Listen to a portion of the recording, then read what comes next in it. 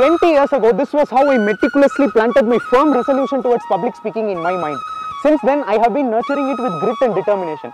I was an average, ordinary, middle class boy who admired every celebrated public speaker with wide eyes and open mouth, earnestly wishing to become one such phenomenal public speaker. Ignited by this burning desire, I started my public speaking journey at the age of 5. Back then, narrating the script as it is was a frightening threat to this dim-witted, dull boy. It was an impossible task for this skittish, shy boy to impress the reverberating audience.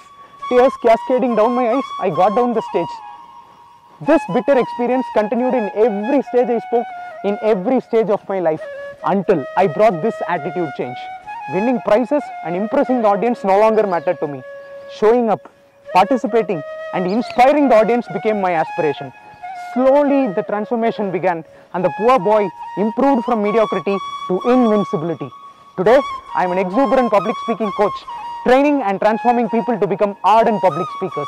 I still nurture them with my resolution. Success is secondary. Aspire to inspire.